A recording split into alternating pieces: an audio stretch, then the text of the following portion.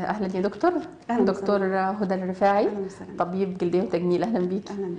آه كنت عايزة أسألك آه عن حب الشباب. كتير بيعاني من مشكلة حب الشباب. آه كنت عايزة أعرف إيه أسباب حب الشباب؟ طرق علاجه آه طرق القضاء على الآثار الجانبية بعد علاجه. بالنسبة لموضوع حب الشباب آه، طبعا بيبدأ في هو من اسمه حب الشباب يعني بيبدأ مع فترة البلوغ.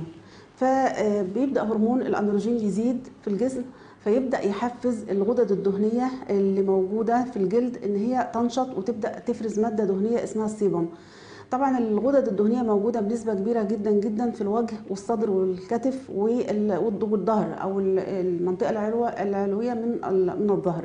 الأماكن دي اللي بيظهر فيها حب الشباب. فتبدأ الغدد الدهنية آه، تنشط مع زيادة هرمون الأندروجين مع بداية البلوغ فمع زيادة إفراز مادة ال sebum اللي هي المادة الخاصة اللي بتفرزها الغدد الدهنية ممكن الغدة الدهنية تتقفل. فلما تتقفل يبدأ الوسط يكون مناسب لنمو بكتيريا بطبيعة الحال موجودة عند كل الناس اسمها P. acnes. البكتيريا دي هي المسؤوله عن الالتهابات اللي بتحصل في حالات حب الشباب. آه، طيب في طبعا آه، آه، ممكن خطوط كتيرة جدا للعلاج. رقم واحد ال- المطهرات والحاجات اللي هي آه، بتستخدم موضعيا على الجلد وفي آه، مضادات حيوية معينة ممكن تستخدم. لكن ما بتبقاش كافية وبتحتاج استمرار على طول آه، علشان تؤتي نتيجة. رقم اتنين ممكن اللي هو علاج ال Roaccutane أو اللي هو اسمه ايزوتريتينوين أو له أسماء تانية زي ال Xeractan أو ال Cure Acne. لكن برضه مش بتبقى مناسبة لكل الناس. بعض الناس مش بتتحملها لأن العلاج ده بيعمل جفاف شوية شديد في الجلد خصوصا في الشفاه. آه، ممكن يعمل تساقط في الشعر. آه، ممكن بعض الناس بيشتكوا من اكتئاب أثناء آه، أخذ هذا العلاج. مشكلة تانية برضو في البنات المقبلات على الزواج ما يقدروش يستخدموه أو المتزوجات بالفعل لأنه آه، هذا العقار بيعمل تشوهات شديدة في الجنين. فغير مسموح ابدا إن واحدة يعني ممكن يحصل في حمل في فترة معينة إن هي تاخده. لازم بتوقف هذا العلاج قبل الحمل بشهر واحد على الأقل.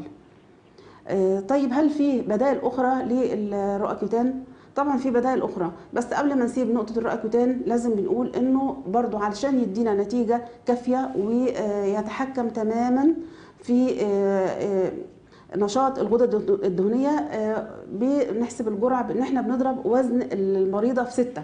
يعني مثلا لو وزن المريضة مثلا 60 كيلو ضربناها في ستة هي محتاجة كده 360 قرص. محتاجة 360 قرص القرص 20 مللي جرام. يعني معنى كده إن هي لو خدت قرص كل يوم هتفضل تاخده سنة كاملة. أو ممكن تاخد قرصين في اليوم وتخلص الجرعة بتاعتها. آه، لكن لو خدتها فترة قصيرة ممكن ما تجيبش النتيجة الكافية أو مجرد ما توقف العلاج يرجع حب الشباب يظهر تاني. طيب في بديل للعلاج آه، بيغنينا عن الموضوع ده اللي هو العلاج بالليزر. آه، زي ما إحنا قلنا إن في بكتيريا معينة اسمها P. acnes اللي هي آه، بتنشط مع الغدة الدهنية لما تتقفل وتفرز مادة ال sebum آه، وهي اللي مسؤولة عن الالتهاب اللي بيحصل في حب الشباب. ال- مادة ال- ال P. acnes أو البكتيريا ال P. acnes دي بتطلع مادة اسمها مادة البورفرين. مادة البورفرين دي أنا لو أنا استهدفتها بجهاز ليزر معين يبدأ يحصل فيها استثارة وتبدأ آه، تقتل أو آه، تتحكم أو تقضي على البكتيريا ال P. acnes المسببة لحب الشباب الملتهب. يبقى اذا ده أصبح خط تاني للعلاج العلاج حب الشباب بديل عن العلاج ال- الدواء يعني أو العقار. ده بالليزر. من أول جلسة إن شاء الله بتجد نتيجة. لكن الجلسات ممكن تتكرر جلسة كل أسبوع آه، تصل إلى 8 جلسات للقضاء على حب الشباب بإذن الله. بعد كده بالنسبة للآثار أو الحفر أو الندبات أو كده ليها جهاز تاني ممكن اسمه اللي هو جهاز ال Scarlet أو جهاز ال- الالايسيس ده بي- بيعمل بتقنية ال radio frequency ده بيقضي على الآثار والحفر اللي هي بتظهر بعد حب الشباب ما ينتهي. طيب في كتير برضو من المرضى بيسألوا يقولوا هل موضوع الأكل له علاقة بحب الشباب؟ هو يعني موضوع الأكل ده ملهوش علاقة قوي لكن وجدوا بس انه حاجتين بسيطين قوي.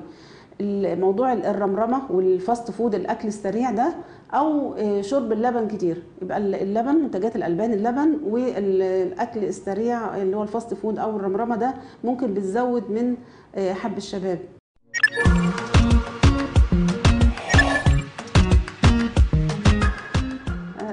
عليكم ورحمة الله.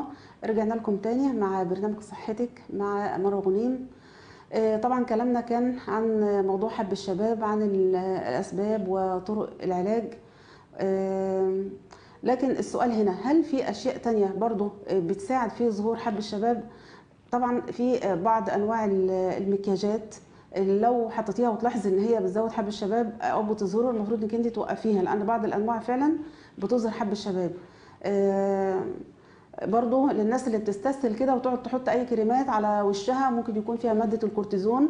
في بعض الناس بتعتقد يعني إن هي كل ما تحط كورتيزون دي يبقى حاجة كويسة وبتعمل تفتيح للجلد. لا طبعا دي حاجة غلط لأن هي ممكن تظهر حب الشباب بالإضافة إلى مشاكل تانية زي ضمور في طبقات الجلد أو ظهور شعيرات دموية في الجلد. فإحنا ما ينفعش إن إحنا نستخدم برضو أي كريمات على الجلد بدون استشارة الطبيب وما نستسهلش في ال- في الموضوع ده.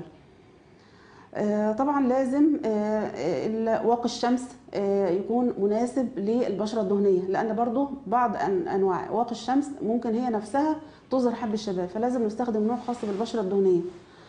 طبعا ال- المنظفات لو أنت بقى مش بتستخدمي مادة مش بتستخدمي عقار الرؤكوتان اللي هو بيعمل جفاف شديد في ال- في الجلد وكده يبقى لازم إحنا بنستخدم برضو منظفات عشان تخفف من نسبة الدهون الموجودة على طبقة ال- الجلد وتمنع تراكمها. برضو ممكن نستخدم المقشرات الكريم اللي فيها بيعمل تقشير ده مفيد جدا لأنه بيخلي الغدد الدهنية دايما مفتوحة فتخلي السطح آه، مناسب جدا خروج مادة السيبم وعدم تراكمها لأن أنا آه، وضحت لكم إن تراكم مادة السيبم في الغدة الدهنية وانغلاقها هو ده السبب في حدوث حب الشباب. فأنا لما بقى أستخدم مادة ال- المقشر أو الكريم المقشر ده بيكون مفيد جدا في آه، عدم تفاقم وزيادة آه، حالات حب الشباب لأن هي تخلي الغدد الدهنية مفتوحة وتخلي مادة السيبم تف- تطلع على طول على السطح ولا تتراكم. طبعا نصيحة تانية زي ما أنا قلت لكم بلاش موضوع ال- الرمرمة في في الأكل أو أكل المواد الكربوهيدراتية كتير السندوتشات والأكل السريع أو شرب اللبن كتير ده برضو بيزود من آه، ظهور حب الشباب. في آه، مشكلة تانية ظهرت برضو حتى مع السن الكبير. بصينا لقينا آه، برضو بعض السيدات ممكن بعد سن الأربعين ويظهر عندهم حب شباب. فبيتعجبوا جدا أو بيتبسطوا يعني لما نقول لهم أنتوا عندكم حب شباب. فبيظهر أكتر في المكان اللي هو يعني في منطقة ال- الذقن تبدا تظهر فيها حب الشباب أكتر في السن المتأخر. آه، في المرحلة دي آه، لازم برضو بنعمل آه، تحليل هرمونات عشان نتأكد إن مفيش أي أسباب وراء هذا الموضوع. وبيكون العلاج المناسب ليهم برضو ممكن ياخدوا الرؤكيوتان أو ممكن ياخدوا في الحالة دي العلاج الهرموني بيكون أنسب آه، في العلاج. يعني اللي عايزة أقصد أقوله إنه ممكن حالات حب الشباب تظهر حتى في سن ال 40 وال 45 بنشوفها دلوقتي كتير جدا.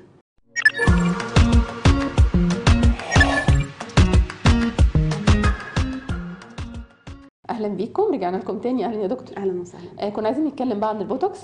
والإحتياطات اللي ممكن المتبعة بعد استخدام البوتوكس. بالنسبة طبعا دلوقتي استخدامات البوتوكس رقم واحد هي إزالة التجاعيد بس مش أي تجاعيد بيشيلها يعني هو أهم حاجة التجاعيد اللي هي في المنطقة العليا من الوجه اللي هي حول العين وال- والجبهة. آم، برضه يعني هي الموضوع مش موضوع ترفيهي قوي لأن بعض الناس مع التقدم في العمر تبدأ يبدأ الحاجب يسقط قوي على العين لدرجة إن ممكن يأثر على الرؤية. فالبوتوكس يرفع شوية من الحاجب فبيدي اتساع للعين آه، بيدي إحساس أو مدى أوسع للرؤية. برضو استخدامات تانية ممكن في زيادة التعرق. بعض الناس بيشتكوا من تعرق شديد جدا تحت الإبط أو أو في راحة ال- ال- اليدين أو القدمين. في الحالة دي بنحقن البوتوكس برضو في المنطقة دي فبيسيطر على على شدة التعرق. يعني بيخلي الغدد العرقية تبطل إفراز للعرق لمدة مثلا 8 شهور تقريبا لعند ما تأثير البوتوكس يروح. برضو استخدام آخر للبوتوكس اللي هو الابتسامة اللثوية. بعض ال- الناس يعني بيكون عندها اللثة العليا بتظهر مع الضحكة بتبقى شوية يعني مضايقاهم. ففي الحالة دي برضو بنعالجها بال- بالبوتوكس. بالنسبة لسؤالك الثاني اللي هي احتياطات المتبعة بعد حقن البوتوكس ورقم واحد بعد الحقن تعمل حسابها إنها تكون كده مصلية الفرض اللي عليها عشان ما تصليش بعدها أربع ساعات. آه، ما توطيش لأن هو المفروض إن هي ما تخفضش رأسها بعد البوتوكس علشان ما ينزلش في العين يعمل مشاكل في العين. رقم اتنين ممكن تعمل حركات تعبيرية بحركات تعبيرية بس بعضلات ال- اللي حوالين العين أو الجبهة من غير ما تدلك المنطقة. آه، رقم ثلاثة تحاول إن هي ما تتعرضش بعد كده للشمس كتير أو ساونا أو الحرارة علشان ما آه، يعني تأثير البوتوكس ما يروحش بسرعة. طيب يا دكتور أنا بقى عايزة نصيحة للبنات في البيت. إزاي تحافظ على بشرتها وتكون مشدودة دايما طول الوقت؟ آه والله وفي حاجة بسيطة قوي كده ممكن تتبعها. لو استخدمت كريم آه تقشير في البيت بحيث إن هي تستخدمه صح. يعني إيه صح؟ يعني ما ينفعش إن أنا احطه حوالين العين ولا حوالين الفم ده هيعمل آه هيعمل إحمرار وتهيج شديد في المنطقتين دول. لو استخدمت التقشير مثلا مرتين في الأسبوع مع تجنب المنطقة حول العين وحول الفم ده بيعمل آه تجديد لخلايا البشرة بيعمل آه تفتيح نسبي لل- للجلد وبيعمل فعلا فعلا يعني تجديد لخلايا البشرة وبيشيل التجاعيد اللي هي السطحية الخفيفة. ده التقشير آه آه. طيب التقشير هل المرطبات طريقة غسيل الش... البشرة؟ هو طبعا ب... لا طبعا بعد استخدام المقشرات لازم أستخدم مرطب خاصة لو لقيت إن الموضوع يعني فيه تهيج شديد في. البشرة لازم أستخدم ال- ال- المرطب. بشكرك يا دكتور. مش تبقى آخر مرة إن شاء الله. إن شاء الله. هنتقابل في حلقة وسهلا. ونورتينا. أهلا وسهلا السلام. عليكم ورحمة الله وبركاته.